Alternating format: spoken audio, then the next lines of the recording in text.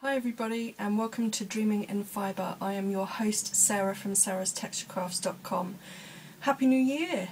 I can't quite believe it's January 2013 already but yeah it sure is so welcome to the show today. What have I got lined up for you? Well I'm going to talk about December in review. I'm going to talk about January shows and workshops. Briefly about my 2013 collection um, I've got a book giveaway, I've got some personal knitting and some business planning for the new year, so let's get started. We'll start with December in review. Um, if you watched last month you may remember that I was having a very odd um, beginning of December 2012. Um, December kind of carried on in the same vein. It was a very odd month, um, many extremes. Um, culminating in late on Saturday evening, which I think was the 22nd of December, I started to get um, toothache. Well, it wasn't really a toothache, it was like a, a sort of gum ache, but shooting pains across my mouth and starting to ache and things like that. And I thought, oh, maybe this is a bout of gingivitis because for the last five or six years, I've been told that I, I suffer with gingivitis, and it will come on in bouts every now and again. And that the only way I can really deal with that is to regularly maintain, um, you know, hygiene and dental appointments and such, and use uh, Corsodyl mouthwash and um, toothpaste. That's fine. Do all of that. Um, and this, I thought, you know, well, maybe this pain might subside, fingers crossed, but if not, there's really nothing I can do until Christmas Eve, which was the Monday, um, and see, you know, whether the dentist is open. So anyway, the unfortunately the pain progressed. So it got to a point where um, Monday morning I could hardly speak and was just in tears with, with pain. Went to the dentist only to be told that it's not gingivitis at all and, and hasn't been. In fact, it's an exposed nerve. Um, I have a slight gap between two of my teeth um, and the gap has made one of the teeth slightly mobile. And where it's mobile it continually hits and aggravates a nerve. Um, and sometimes the pressure will build up and, and give me this pain sensation which I was previously told was gingivitis by a different dentist. So anyway now at this new dentist they've discovered what the problem was so Christmas Eve, I'm in the dentist chair. I have to have um, my tooth drained because an abscess has formed and it's formed a huge lump on my face. I mean, it honestly looked like I'd been punched in the face. It was horrible and painful. Um, she was a great dentist. Um, she normally, when I go to the dentist, I can still feel um, a lot of the sensations and pain when they're drilling into my teeth she gave me one injection, normally I have about seven small ones, but she gave me one injection and it just did the trick. I didn't feel a thing, I was much calmer than I normally am in the dentist because I couldn't feel any of the pain. Um, gave It really did bruise me, I was hugely bruised on the inside of my mouth, all around there, completely black. Um, and I came up with a black eye for Christmas, which was lovely. so I tried to avoid as many Christmas photos as possible for fearing I would look like I'd been in some kind of altercation on Christmas Eve. um, but thankfully that uh, she, she'd sort of packed the tooth with antibiotics and, and refilled it and I have to go back at the end of January for x-rays and things but essentially it looks like it's going to be a root canal and they think the, the nerve was exposed um, because my teeth had, had, had, sort of separated and settled out after having a wisdom tooth removed about six, seven years ago. Um, so anyway, it, it, it all kind of, that, that helped and, and all kind of died down. I, I do suffer with slight reaction to antibiotics, anything other than amoxicillin, so um, I did have a slight reaction and really didn't feel well for about a week afterwards. Um, but fortunately whatever she did did the trick and the abscess has now gone down so I just really have to go back, get those x-rays done and then proceed to the root canal procedure and everything. So I was really, really grateful to the dentist. Um, she was fantastic. Um, so that wasn't a great start to Christmas, but I have to say that um, family pulled out all the stops, and those that came to spend Christmas Day and Boxing Day with us really just, you know, helped to make us feel a lot better. Um, because we'd had several other things happen, like the car broke down again, and and so on, and and we were just by the time it got to Christmas, me and Darren were pretty much over it, and you know, really needed cheering up. So, really grateful to everyone who came, um, and to you know family who we phoned and so on. They made Christmas really special and and much better. Um, so, yeah, kind of a month in extremes, and January sort of started a month in extremes in that um, the car broke down again in the middle of traffic. Um, I think there's something wrong with the electrics. The problem is that we have an automatic car, um, so when the electrics go, you can't be bump started. Um, so, thank you to the motorcyclist who rather um, thankfully stopped and, and offered his help. He was, you know, fantastic because many people just carried on driving past, couldn't couldn't care less. Um, but you know, with the the good a good Samaritan like that, it was it was great to know that you know we weren't completely stuck. Um, also, a big thank you to HSBC Bank as well because they uh, we have um, a breakdown call out with them. So before Christmas, when we broke down, they uh, they came out. They sent out somebody to us within I think an hour. They were there. Um, and sorted everything out for us, and everything was, was free of charge. I mean, fortunately, it was it was all electrical, and it managed to, to start, so there was nothing that really needed work doing to it. But it's definitely looking like in the long term we're going to have to consider purchasing a new car, which is a bit of a bummer because um, you know what it's like in the new year. You always seem to start January a bit short of cash, even though I'd bought all of the presents a long way in advance. So um, yeah, a bit of a bummer that it looks like we're going to have to buy a new car.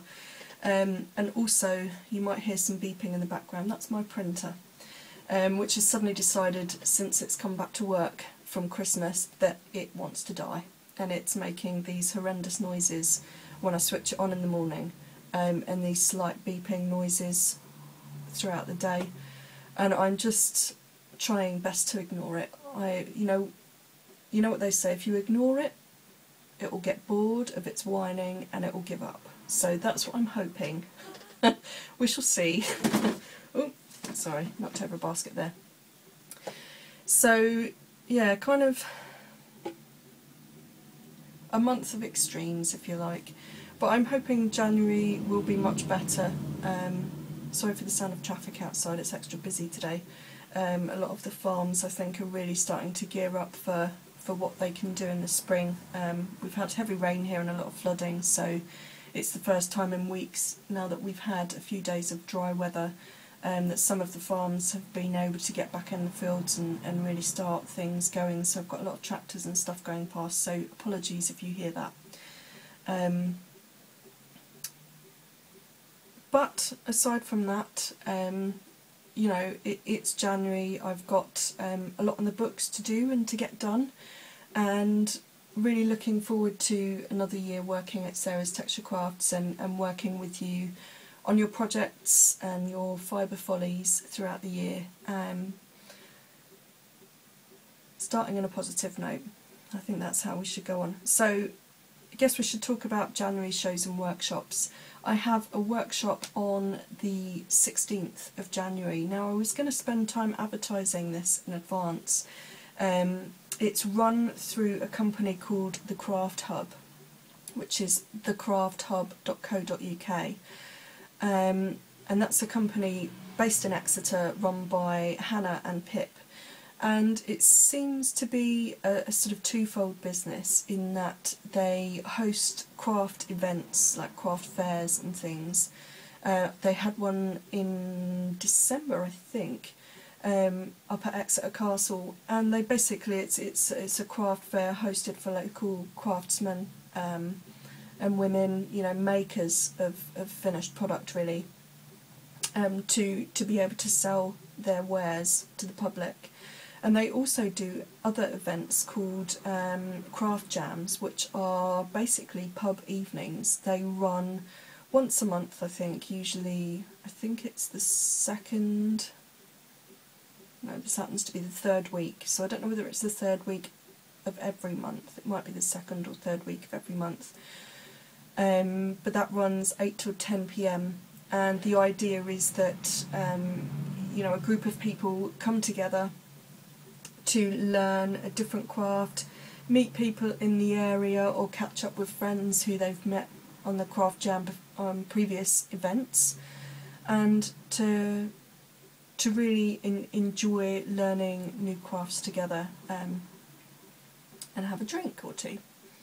So they've asked me to come along and teach some needle felting, so I, you know, rather gratefully agreed. Um, this was something, part of my New Year plans to sort of get out there and do a bit more teaching again. Um, I last taught, ooh, I want to say about four or five years ago up at Alexandra Palace, and I did a needle felting workshop there, um, which went really well but since moving down here, um, there's been a lot of different things gone on, and business has, has taken sort of different directions, and I've not really had the time or been able to find a suitable venue um, to continue those sort of workshops. So I agreed the moment that they emailed me, and I thought it would be a really good excuse to get back out there and start teaching again. So what I've decided to do is keep the class really basic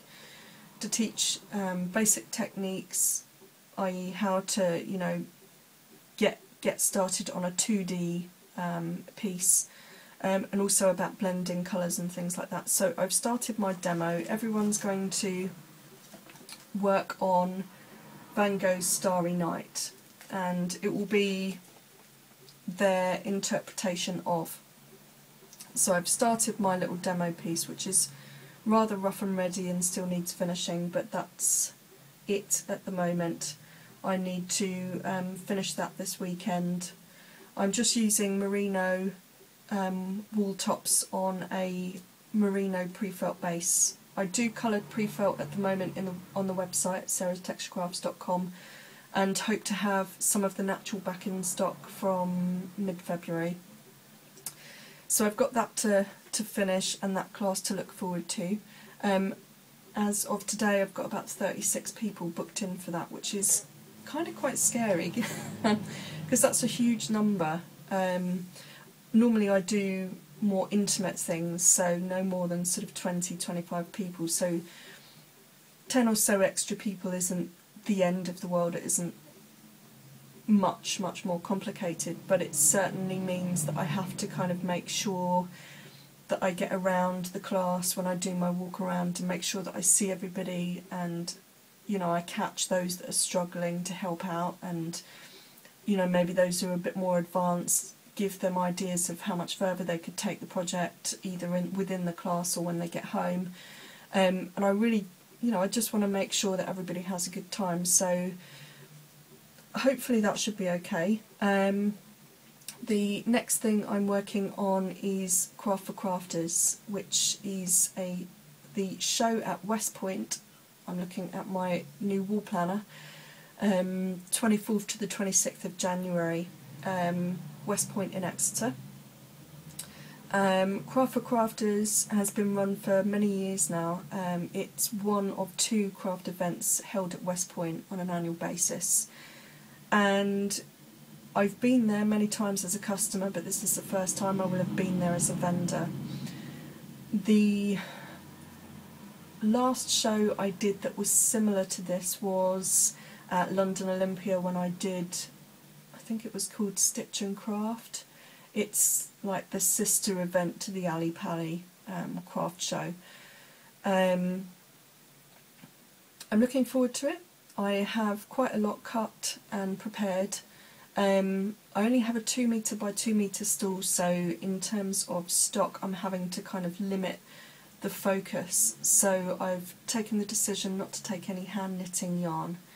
Um, I've taken that decision for two reasons. One, because I know there are going to be um, a few companies who are selling yarn off cheap, and so to have that sitting alongside somebody who's selling essentially artisan luxury yarns, which is what I'll be selling hand dyed at a much higher high, uh, price point, I'm not sure how well I will fare in terms of sales. Also, because there's quite a strong knitting focus, I wanted to almost try and have an edge. So I might take some of my sale yarn um, I'm having a sale on at sarastexturecrafts.com, which I'll speak about more in a moment. Um, but I wanted my focus to be slightly different because otherwise, whilst you're cashing in on a general theme, you're fighting for sales with other people, and I th think with the other people that are there, I don't know how many people customers would get or understand or have the budget for a higher priced yarn.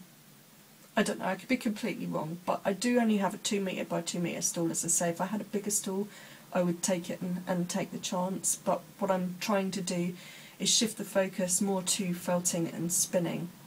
Felting is fast becoming popular again, and I know certainly with the with the numbers of the workshop, I mean we expected only 25 people, so to have 36 in the end um, well, at the latest count anyway, is shows how popular the craft has become. So I think that's going to be my kind of main focus, felting, and then you know obviously having fibres for spinners and things. So if if you are a customer and you're a spinner, you, there will be stuff there for you. There will be a selection of hand dyed and natural fibres as well as um, merinos. And so, okay, sorry about that. Um, phone call. What can I say? It's going to be one of those days, I think. But better to be busy than not, so that's fine. So what was I talking about? I think I was talking about craft for crafters and the fact that I'm going to be focusing more towards felt making, that kind of thing. So stock will relate obviously to that product. There will be kits, um, equipment, there will be um, things like 25 gram balls of merino so you can select the colours that you want. There'll be um, some leftover New Zealand Corriedale, which is my end of line, so once it's gone, it's gone. Um, what else will there be? I will have some silk scarves for nuno felting. Um, I will have a few other bits and pieces, a few new lines as well. Um, I'm creating what I'm calling um, a texture box, and I'll show you more of that next time once I've got kind of things ready and well, hopefully there'll be absolutely none left, but um, they they will be um, launched at the show, and essentially they're going to be bits and pieces of different fibres and things. So if you're an embellisher, or if you're a felt maker, or even if you're a spinner looking to create art yarns, then um, these are the boxes to go for because they've got lots of you know sort of interesting hand dyed versus commercially dyed textures speciality fibres, that kind of thing in them. So that's Craft for Crafters. If you do fancy coming along, I think the tickets are six fifty or seven fifty before concessions. Um, as I say, that's at Westpoint in Exeter on the 24th to the 26th of January. So if you do come along, I would really appreciate that you come by and say hi because I'll probably be a little bit nervous because it's uh, a departure from the normal type of haul show that I do, so um, hoping it goes okay.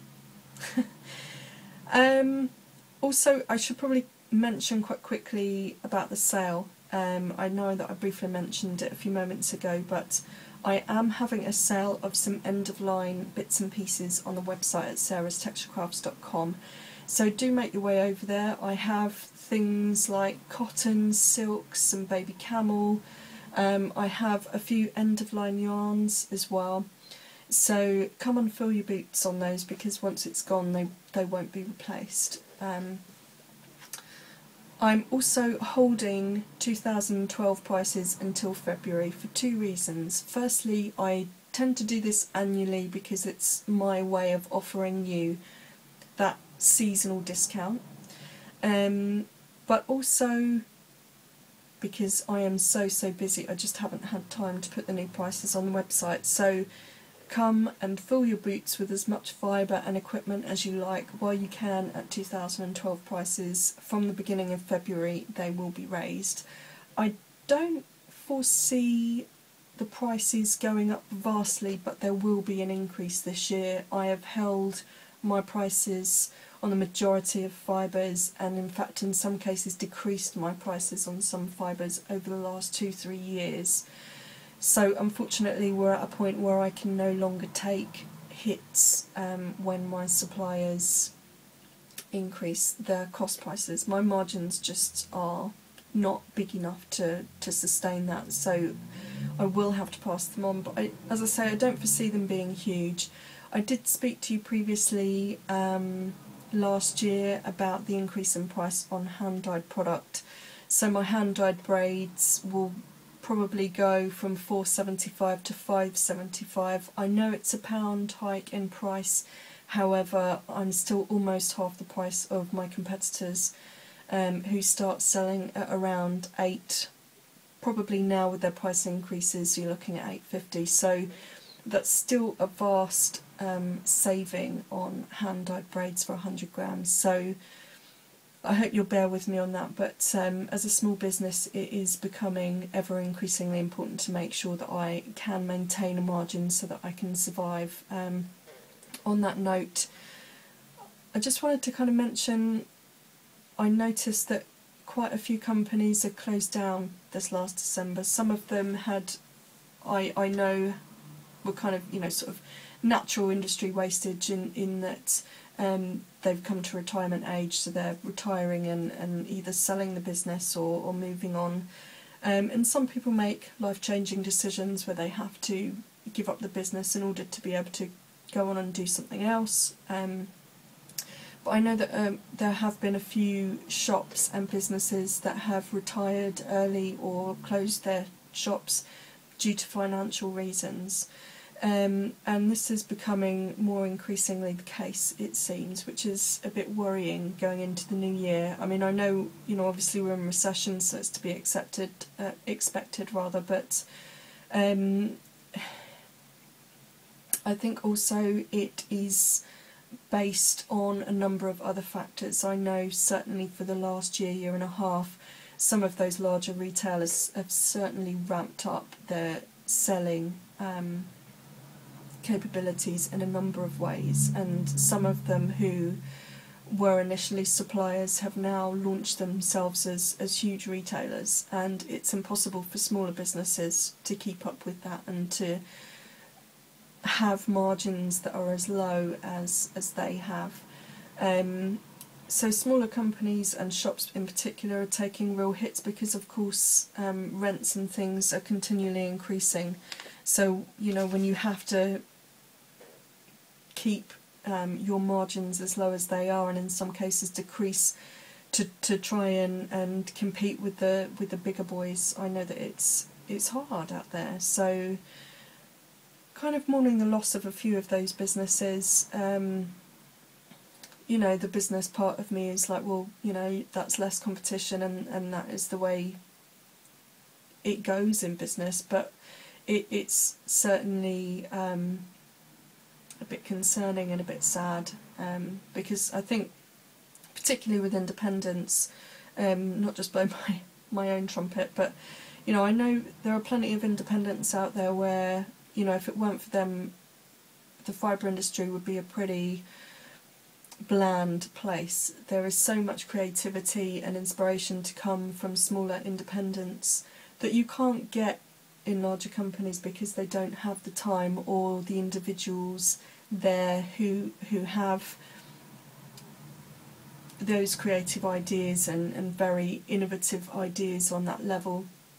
Um, I mean, of course, they certainly come along later and replicate it to maximise their sales, but it's really those smaller independents that we rely on as an industry to keep us excited and and inspired. So it's a real shame to lose them.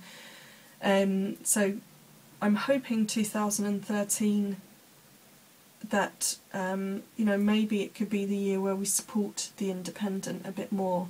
Um, I know certainly I am am trying to um, you know when I look to buy things I'm trying to source either locally or from independents or smaller companies.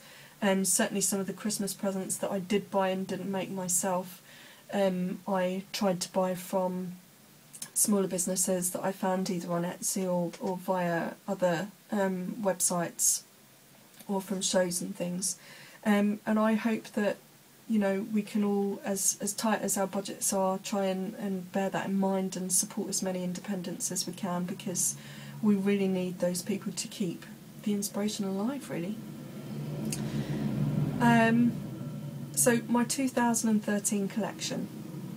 Well, I had hoped to um, have enough time to show you a few new bits and pieces, but it kind of didn't happen. I was hoping, even though I was closed over Christmas, to do um, little bits and pieces um, to be able to show you some things. And I, I have done some things, but I'm not in a place at the moment where. Sorry, that's my neighbour on his motorbike. Sounds lovely, but not while I'm podcasting. so yeah, I mean, I I'd hope to, to to be a bit further along and to be able to show you some things, but I'm I don't feel I'm quite there yet. So I think next month I'm going to I'll probably split the podcast because next month I have two things to talk about that are really going to take a lot of time and um, and discussion. The first thing being Craft for Crafters. I'd like to um, take you on a virtual tour of the show and sort of do my um, diary of a show, if you like. And then secondly, I have the collection to talk about. It will be the first part of the collection, so it won't be a full um, review of the entire collection, but it will certainly take some time to talk about. So I may have to separate it into um, two separate podcasts. We'll see.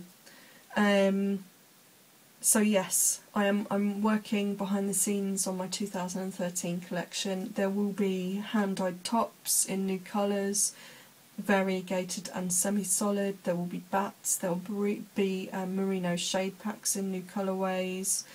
Um, I'm hoping to um, have by March um, a new range of yarns and these will be more repeatable colours.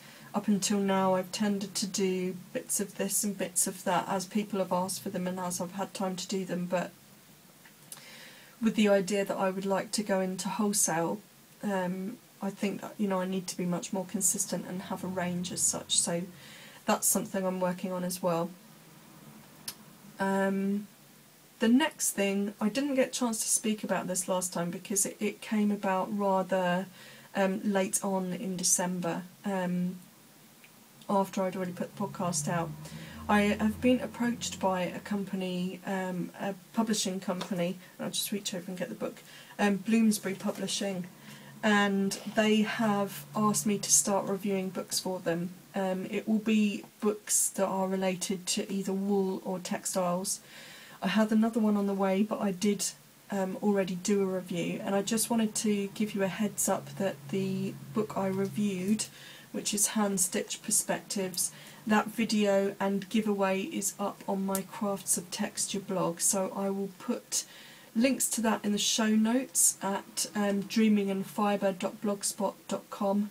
I will um, also put a link down below here so that you can be with um, you know get yourself in with a chance to, to win this fabulous book. The um, competition is open to UK residents only, I'm afraid, just because of the sheer weight of this book, so therefore the cost of shipping is, is going to be quite huge. Um, however, there is a 20% discount code so if you are in the UK and you don't win but you want to take advantage of that discount code or if you're overseas and you can't enter the competition, you still have a chance to use that discount code and get, I think it's 20% off of your um, purchase of the book. So um, yeah, check it out. It's a it's a good book. I enjoyed it. Um, I enjoyed reviewing it, and I'm looking forward to the next book that's going to arrive for me. Hopefully quite soon. Um, we shall see. More news on that next time. So, personal knitting. What did I get done? Well, I probably I didn't really get as much done as I wanted to, to be honest. Not feeling well over Christmas and having done as many sort of uh, Christmas present knits and and felt projects and things as I did before Christmas, I really kind of haven't been in the mood as much for crafting as as I would normally be. Um, but I do have a few things on the go, so let me show you where I'm at. I'm probably going to lean out of frame, so apologies for that. But we'll start with the first one. I've got, um, there are two babies in the family that are on their way, one due February and one due um, end of April, I think. So I'm, I know that one will be a baby girl. We're not sure what the the gender of the other baby will be. So I've started knitting. I picked up this yarn last year with the intendant that would intention that would be for the baby girl. But as I started knitting, I still think the yarn has probably come out quite girly, so it could well be for the, the baby girl, but I don't think it will be a present that I give on the birth of the baby. It might hold until later in the year, probably a Christmas present, um, because my gauge was so far off, it was ridiculous. Um, I went up a whole other size and a bit. So ignore the, I mean it's not blocked, it's not, when ends are not woven in or anything. Um, it's the start of a baby bunting. So um, I need to it's a pretty much a, a, an easy knit, just a garter stitch knit. Buttonholes at the front. Um, I need to finish the hood, um, and this is a pattern. It's called Baby Drops 14-14 by Drops Design. You can get it on Ravelry. If I remember right, it was a free pattern, but I might be wrong there. I'll find out and put that in the show notes. But um, that's what it should look like. I hope you can see that. So just a cute little bunting bag that um, you know baby can be in, whether it's travelling in the car or falling asleep in the cot, that kind of thing. Knitted it up. I've knitted it in acrylic. Um, this is a really nice hand feel acrylic. It's not crunchy, it's not hard to knit with. It's a little bit fluffy so I did find that I needed to sort of have a roll of sellotape near me so that I could you know sort of wipe off the fluff afterwards um, but I think probably after I've washed it and blocked it um, that fluff will certainly die down it you know what it's like sometimes you get a, a ball of yarn and it's fluffy while you knit but the moment you wash it that fluff dies down it's like that you know the sort of fluff isn't really attached properly in the yarn um, that sort of surface fluff um, knitting up really nicely, really quickly actually. As I say, I just need to do the hood, block it, then place the buttons and finish off. I wasn't so keen on the button bands, I have to say. Um, my gauge is looser when I do um, stockinette as opposed to garter stitch. So I'm hoping that I will be able to block that or I might um, cover that with some grosgrain. Not sure. But I've, I have picked out some buttons. I will just double check. The, the buttonholes is just a one stitch yarn over. So there'll be quite small buttons really. Um, so I'll see when I've, I've blocked it whether the buttons that I have in mind in my stash fit. If not, then I can buy some new ones, that's not a problem. But I just really wanted it to be an easy wash, so whichever mother receives it um, for their baby, they really haven't got to worry too much about wash, washing, special washing instructions, that kind of thing. I also wanted to insert here somewhere a picture of um, my sister's shawl that I finished for Christmas. This is a picture of my sister wearing it.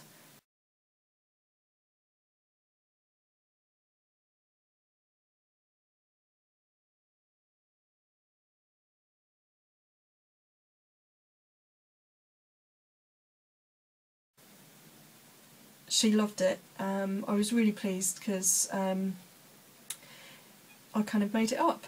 I got so far and and then I when I got to the, the pattern part of, of the shawl, it's a it's a top down shawl.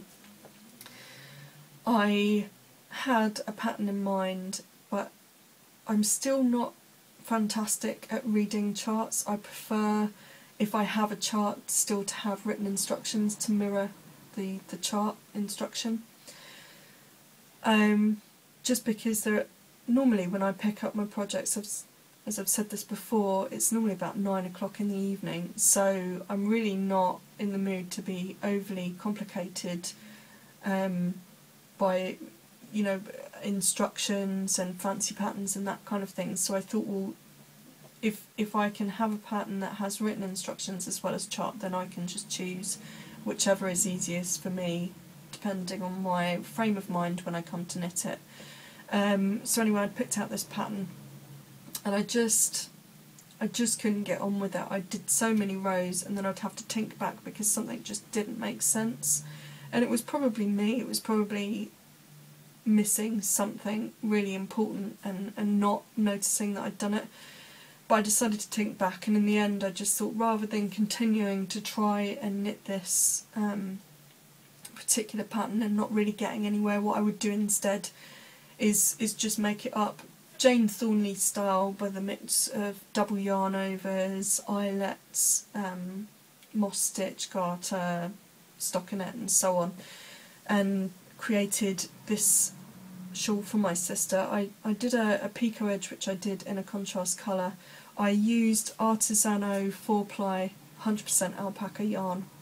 Um, the recommended needle for this was 2.75 or a 3.25 millimeter. I think I used something slightly bigger. I think I used might have been three and a half actually, or 3.75 millimeter. But I used that because I wanted a slightly more airy feel to the yarn, and actually I think it worked out quite well. And my sister was pleased with it, so that's the main thing. What else have I been knitting on? Well, I started um, uh, a jumper and I won't bother showing you the pattern at the moment because I might deviate quite drastically from the pattern beyond the rib but literally as you can see I've cast on and started knitting the rib. I'm knitting on shorter circulars at the moment just because um, because why? Because um, I find actually that this sort of length of cord is, is just easier on my hands as I'm knitting rib. So I'm going to sort of decant this onto longer um, longer cords as I go along. These are on my interchangeable Knit Pro needles. Um, I'm using the um, stainless steel tip, which actually I prefer. Um, these, I, I bought a set of these last year from Amazon. Forget how much I paid for them, um, but they these have just been invaluable, and I don't think I've knit on any other needles since I've had these, which is a really good sign. The only other time I think I would swap to a different needle is A, if I were going somewhere, I probably wouldn't take these, I would probably switch to bamboo. Um, just because my bamboo needles were cheaper, so if I lose them, it was a cheaper project. Um, a, a cheaper replacement needle. Um, or I might swap to my ChiaoGoo needles because the ChiaoGoo lace needles I have, if I'm knitting um, a, a lighter weight shawl, certainly they have much more pointier tips and are ideal for lace weight yarns. So otherwise, I, I don't foresee a reason really for me to change from these needles, which is a pretty good endorsement, I think, of these. Um, love them. So, so that's that. Again, I'm knitting this um, I'm knitting this in an acrylic. It doesn't feel like a really bad acrylic, you know, it's really nice and soft and could be mistaken for a wool blend actually. But the reason why I'm knitting this in acrylic is I wanted an easy jumper that I could just throw on when I go to the shops or that I could throw on here at home while I'm working and not really worry too much about if I get fluff on it um, or um, if I get a splash of dye on it or something like that it's just a quick wash, something I can stick in the washing machine and not worry about. Um, I do have those other special knits that I knit in 100% wool or hand spun and that kind of thing, and that's what I prefer to knit with. But I do think there's a room for the occasional bit of good quality acrylic um, for no other reason than convenience wearing. So, yeah, you're probably scowling at, at the at your monitor thinking, really? A girl selling wool yarn knitting exclusively in acrylic at the moment? Not good, but you know, that's sometimes needs must, you know. I did manage to get a few moments on my spinning wheel after my um, antibiotics really set in and um, my my gums and, and teeth started feeling a lot better. I really wanted to get back on the wheel because over Christmas I wanted to finish my birthday fibre and Darren bought me some um, Coopworth finger roving off of Etsy from uh, an American seller. I forget the name now, which is really bad. Let me see. I've got Etsy open here. I might be able to um, find the name of that shop for you. I know it was colour Beach Ball. And it's by a company called Good Shepherd Fibres. She is based in America and she has quite a range of rovings. Um, this is Coopworth, as I say. She also does blends of um, Shetland and Merino. I'm not sure whether these come from her own sheep or whether she buys the finger roving in. Um, she does have her own goats, it looks like. Um, but yeah, I mean, fairly reasonable in price. Um, I bought this as. Sorry, I'm, I'm taking a look on Etsy just to make sure I give you the right information.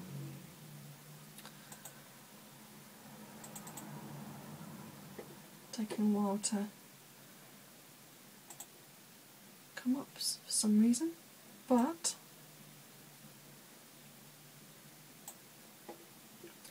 Let me have a look at my invoice. I paid $32.99 which um, was inclusive of shipping which I paid an express rate of $13 so all in all for 8 ounces I paid, or Darren bless him paid £22 and 6p at the time. Um,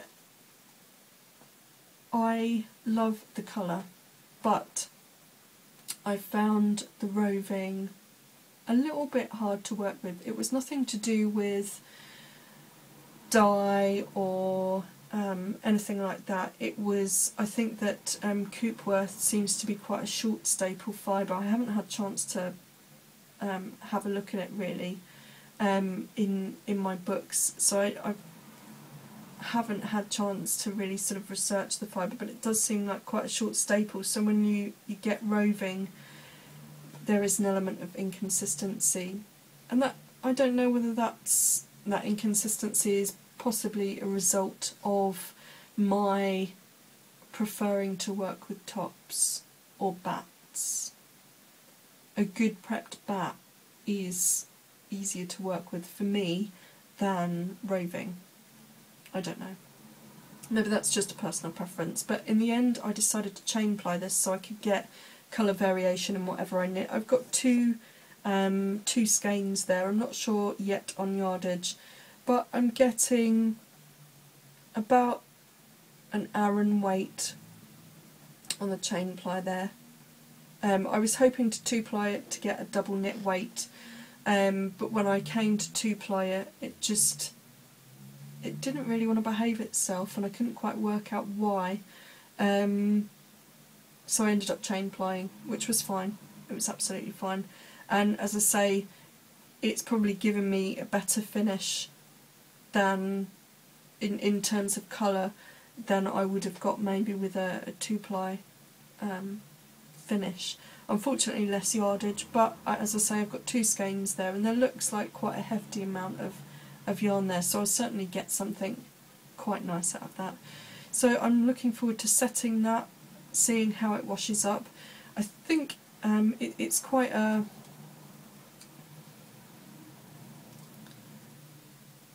I don't want to use the word scratchy, but there's quite a sort of robust and, and slightly coarse nature to the feel of the fibres. So I'm not sure how much that will soften up when I wash it, but um, I'm expecting it to become a little bit more um, haloed as well, a little bit more fluffy. So it probably won't be something that I wear directly next to the skin, but I think it will certainly be something that will give me an element of warmth. So um, thinking caps on, I think, for me, um, once this is dry, and after the show, um, probably February time, I'll get a chance to, to really consider knitting that. Because I've got quite a lot of um, hand spun yarn at the moment that I haven't had a chance to knit, so I think for the first few months, apart from those projects that you've seen on the go, I really need to get started working on my own hand spun and turning them into some beautiful things. And the last thing I wanted to show you is um, some weaving off the loom. I can't remember whether I showed you this before or not, so I'll just show it quickly. Um, this is, it's going to be a bag. Um, I've yet to find some lining for it. If I did mention this before, I mentioned that I was going to hunt for some ikat lining, and I can't seem to find some basic indigo ikat in, in a nice weight for lining at all. I can't find it anywhere. So um, going back to the board on that one, um, I might felt the inside. Not sure. We shall see. I'll have a think about that. I'm still really loving the reverse as much as I am the the front so I'm not sure how I haven't woven in the ends yet because I'm not entirely sure how I'm going to construct the bag but I'm probably going to get some dark wood handles for that. I've got a few places in mind, so once I get my lining fabric and my construction idea finished, then I can have a look for, for handles and, and go from there. But that is the weft thread is um, my own hand-dyed yarn in colour flamingo and the warp thread is again this lovely 100% alpaca from Artisano Yarns. Um, it's a really nice soft feel to that and I'm really looking forward to um, getting that turned into a bag so that I can start to use it. Um, for any of you who are interested in, in, where I came up with the pattern ideas, well I've been using the Hand Weaver's pattern book. I probably mentioned this before and sorry if I have, but um, this is a fantastic book that gives you lots of different um, weaving options so that you can set up your um, warp thread in a way to create those um, weft patterns as you weave. So really useful book. I'll probably do a much more full and detailed review of that in the future. So that's my my projects, my um, ongoing and a finished project as well. And I think that's probably it for today. Um, I'm hoping this is shorter and sweeter.